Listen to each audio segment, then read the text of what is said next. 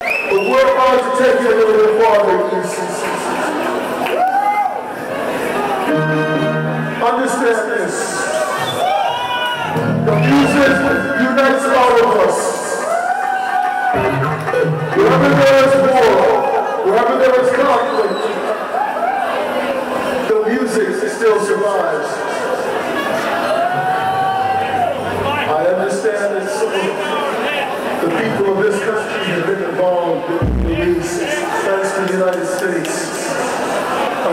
say,